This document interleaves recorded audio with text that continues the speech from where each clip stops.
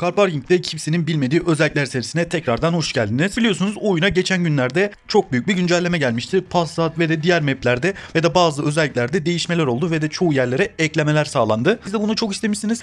Reis oyuna bir sürü şeyler geldi. Bunun devamını çek demişsiniz. Ben de sizi kıramayıp bunun devamını çekmek istedim açıkça söyleyeyim. Sizlerin de dediği çok doğru. Map'te bayağı bir geniş baktı mı kimsenin bilmediği özellikler bulmak cidden bayağı bir zorlaşıyor ve de bulduğunuz zamanda da paylaşması çok zevkli oluyor. Şimdi hiç vakit kaybetmeden bilinmeyen özelliklerimize geçelim.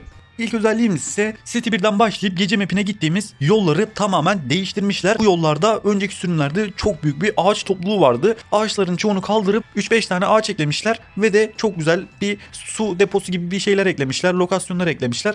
Açıkça söyleyeyim oyunun optimizasyonu açısından kaldırmış olabilirler. Çünkü yani oraya gittiğimizde biliyorsunuz gece olduğunda çok kasıyordu oyun. Büyük ihtimal oradaki optimizasyonu da hallettiklerini umuyorum. Umarım bu yeni map'in farkını fark etmişsinizdir. Sıradaki özelliğimiz ise Montaigne'in hemen yanında olan rally map'i. Bu rally map'i açıkça söyleyeyim çok güzel olmuş. Tam rally'lik arabalar için. Offroad map'i vardı ama oradan orası uzak olduğu için yani çölden falan gitmek gerekiyordu. Bunda Montaigne eklemeleri gayet güzel olmuş. Gerçi Montaigne de uzak da neden böyle bir karar aldılar onu da bilmiyorum ama bu map'e yakışmış diyebiliriz. Burada rally yarışları yapabilirsiniz, roleplay'ler yapabilirsiniz. Bu map'i de eklemeleri gayet güzel olmuş.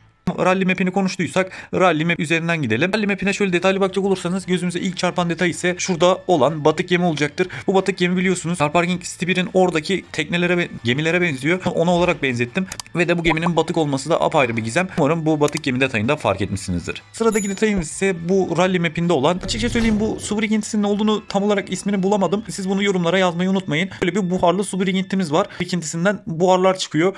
Açıkça söyleyeyim buradaki su birikintilerinin olması çok güzel bir detay. Rally map'ine hoş bir hava katmış diyebiliriz. Umarım bu su birikintilerini de fark etmişsinizdir. Buradaki detayımız ise Mountain map'inde olan inekler detayı. Açıkça söyleyeyim Car Parking'in önceki sürümlerinde böyle bir detaylar yoktu. Oyun yapımcıları demek ki doğaya da birazcık önem vermiş. Detaylara da önem vermiş. Umarım bu de küçük detaylar da optimizasyonu etkilemez. Biliyorsunuz böyle modeller oyunu çok etkiliyor. Yani yüksek megabaytından olsun yani tekstür kalitesinden tut yani oyunu etkileyebilecek derecede detaylar olabiliyor bazen. Ama oyunun böyle doğaya önem verdiğini güzel olduğunu söyleyebilirim. Umarım buradaki inek detaylarını da fark etmişsinizdir. Sıradaki detayımız ise kaza yapan NPC arabaları. Kaza yapan NPC arabaları oyuna daha çok gerçeklik hava katıyor ve de Osas Games bunu yeni gelen yerlere de eklemeyi unutmamış. Şöyle fotoğraflara bakacak olursak fotoğraflarda bir tane tır var. Tır böyle devrilmiş, bariyere falan girmiş. Bu sefer tırlar üzerinden gitmiş Solsas Games. Yani tırın dorsesi falan düşmüş. Açıkça söyleyeyim çok güzel ve gerçekçi olmuş. Ama birazcık kaza fizikleri de ekleselermiş çok güzel olurmuş diyebilirim. Tekeri kopmuş bir tane GTR var. O da çok güzel bir detay olmuş. Yani şu anlık kaza yapan arabalar böyle. Umarım siz bu kaza yapan arabaları fark etmişsinizdir. Montaigne'de olan yeni burger. Bu burgerde tamamen yenilendiğini görebiliriz. Burger artık yani fabrika dönüşümüne göre sürekli değişip değişip duruyor burger.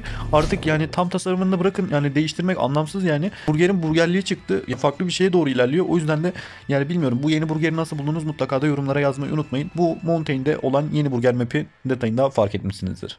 Ve de Montaigne'deki bazı NPC araçlar benim çok dikkatimi çekti. Bunları da sizlerle paylaşmak istedim. Şuradaki NPC arabaya bakacak olursak buradaki NPC arabası kasasına jeneratör konmuş herhalde. Hem doğaya çıktıkları için jeneratör önemli jeneratörle kasaya koymuş ve de piknik alanına gelmiş. Bu açıkça söyleyeyim NPC arabalarına çok değer vermişler bu Mountain map'inde. Açıkça söyleyeyim ben çok beğendim diyebilirim. Keşke bizim arabalara da öyle şeyli dekorlar falan konulabilse. Bagajlara falan çok güzel olur. Ama yine de NPC araçlarına böyle değer vermeleri hoş.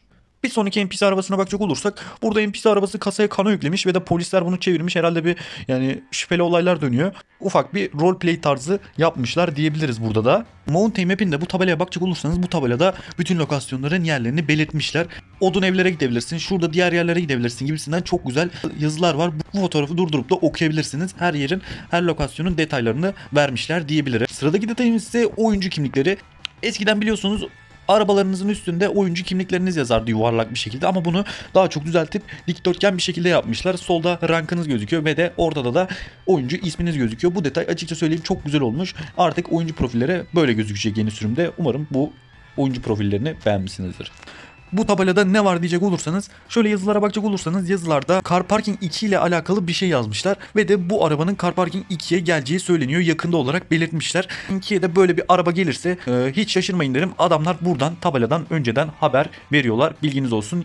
Bir sonraki sürümlerde de bu tabelalara çok dikkatli bakmalıyız. Umarım bunları da ilerleyen zamanda değiştirip de böyle ilerleyen zamanda ne getireceklerini bize bildirirler. Videoyu umarım beğenmişsinizdir. Sizlere kimsenin bilmediği özellikleri aktardım. Bayağı bir uğraştım diyebilirim ve de sizlerin sayesinde de bazı bilgileri aldım diyebilirim. Telegram sohbet grubuna gelmeyi unutmayın ve de yorumlarda benim de bilmediğim detaylar varsa da mutlaka yazmayı unutmayın. Like atmayı, abone olmayı unutmayın. Bir sonraki videoda hepiniz hoşçakalın efendim. Gidiyorum gözümün yaşlı